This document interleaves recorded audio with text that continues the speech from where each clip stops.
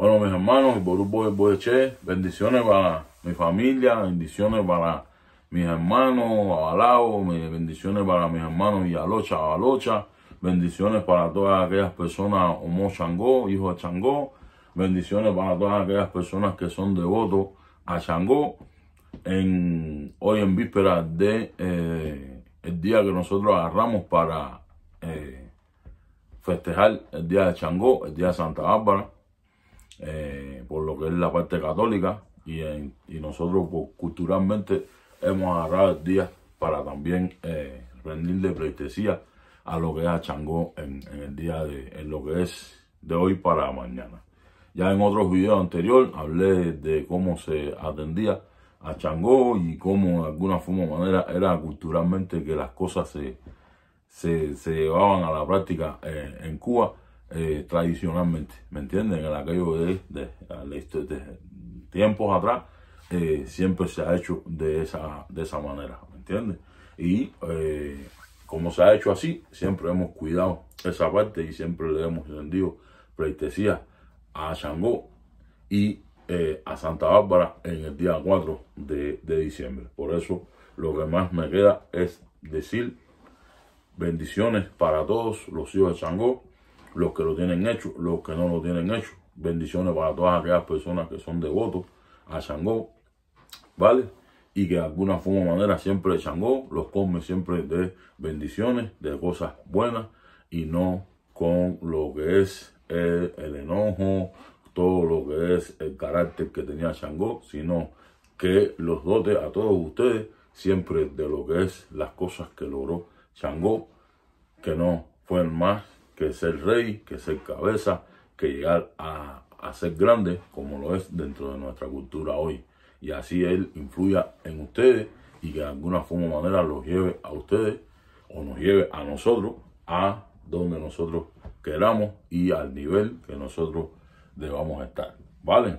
Eh, hoy he venido por acá eh, para compartirles a ustedes una historia, una historia que me, tocó un poco, me tocó un poco el aquello de, la necesidad de traerles esta historia y este consejo a todos ustedes, a todos mis seguidores, en el aquello de eh, que hoy tuve una consulta y en el orden que me dio Rula, me dio el orden de Osvara Juani.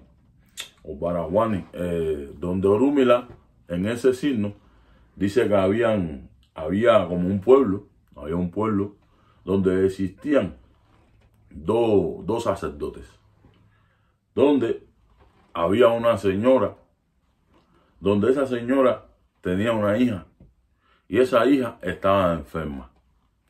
Y entonces la señora va a ver un sacerdote y cuando va a ver al sacerdote, eh, ese sacerdote le hace consulta. Y ese sacerdote, le marca un esbo. Y le marca un con lo que era, eh, con lo que eran dos gallinas y cuatro pesos.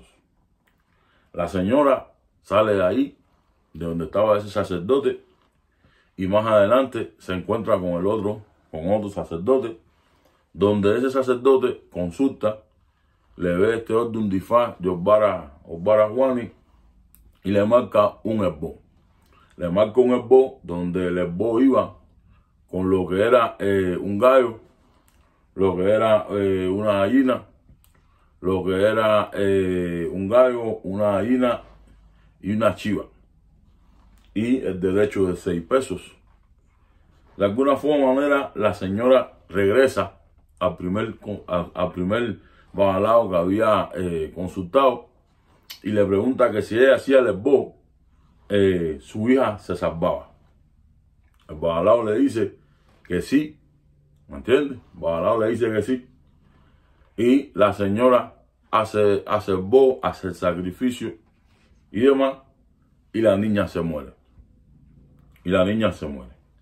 De alguna forma o manera, esa señora, después que eh, su hija muere, regresa a casa de ese babalao y cuando regresa a casa lado, le dice que cómo era posible que de alguna forma o manera, eh, cómo era posible de que si él le había dicho que su hija no, no se moría, sino que se salvaba, su hija se había muerto.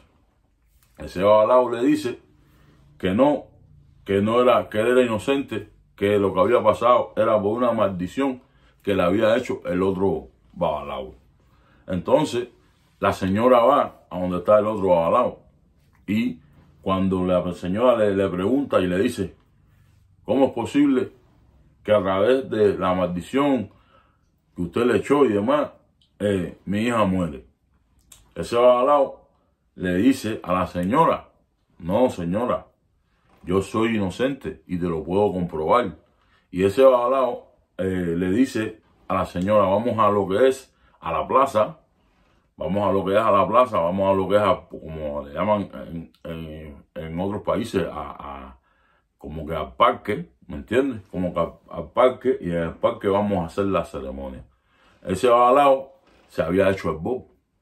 Ese babalao se había hecho el bo y se había hecho el bo con lo que era eh, tres muñecas. Se había hecho el bo con tres muñecas. Se había hecho el bo con un gallo se había hecho el bo con un cuje de, de rascabarriga, eh, se había hecho el bo con un ratón y se había hecho el bo con cuatro sábanas. Se había hecho el bo con cuatro sábanas. Ese balao llega a lo que es a, la plaza y cuando llega a la plaza cubre a la niña que ya había fallecido, la cubre con una de estas sábanas y con ese cuje, con ese pachán, eh, hace el llamado de, eh, de la, de, de, muerto, es decir, de la eh, espiritualidad de esa niña que había fallecido. Y cuando el babalao hace el llamado de esta niña que había fallecido, es decir, de, la espiritualidad de esta niña, de alguna forma manera, la espiritualidad de la niña le contesta. Y a la hora que le contesta, esa espiritualidad de la niña dice, usted es inocente. ¿Me entiende? Y es donde el babalao demostró que de alguna forma o manera él no había hecho nada eh, indebido, ni eh, era cierto la acusación que le estaba haciendo eh, la otra persona. De alguna forma manera, la historia para mí me deja claro y es donde yo digo, coño, déjame llevarle esta historia al pueblo religioso o a aquellas personas que me siguen el día de hoy. En aquello de que de alguna forma manera Dicen que a veces, como dice el refrán, lo barato sale caro. Hay ocasiones en el cual eh, nosotros podemos resolver un problema y resolver una situación con un simple vaso de agua. ¿Me entiendes? Pero hay problemas o hay ocasiones los cuales de alguna forma o manera tenemos que hacer las cosas con un herbo costoso. En el aquello de que eh, a veces no con el vaso de agua eh, se obtiene todo. Entonces hay que eh, acudir a voces que llevan más cosas, que llevan más eh, ingredientes, que llevan más sacrificio, que llevan más cosas. ¿Me entiendes? Entonces a veces hay personas que eh, ponen su vida, hay personas que ponen su vida a veces en riesgo por el motivo o por la razón de que hay gente que me ofrecen más barato. Hay eh, alguien que vende una playera, una camisa, una camiseta en un dólar menos en la esquina. ¿Me entiendes? Pero ¿qué pasa? Que acuérdense que de aquí, de esta esquina a la próxima esquina, cuántas cosas en milésimas de segundo pudieran pasar. ¿Me entiendes? Entonces, de alguna forma manera, dice que lo barato sale caro en aquello de que de alguna forma manera, si, si, si, si el esbo que me marcaron lleva esto y esto y esto y esto, de alguna forma manera vamos a buscar no la opción de quién lo da o quién lo hace más barato, ¿me entiendes? Sino vamos a buscar la manera y la forma de hacer el esbo como se le marcó para que de alguna forma o manera no peligremos nosotros ni peligre la familia como pasa en esta, en esta historia. El aquello de que también la historia nos deja claro, el aquello de que eh, eh, fuiste a consultar con una persona, no confiaste en esa persona desde el inicio y fuiste a buscar a otra. ¿Cuál fue el motivo o la razón o la causa con que tú fuiste a consultar en un lado? Te dijeron lo que tenía que hacer y después fuiste buscando ayuda en otro. ¿Me entiendes? Y al final regresaste al inicio a regresar al inicio porque te costaba porque te costaba o porque te daba más barato. Entonces, si el otro te hubiera costado, te hubiera eh, cobrado más barato, te hubieras ido con, la segunda opción.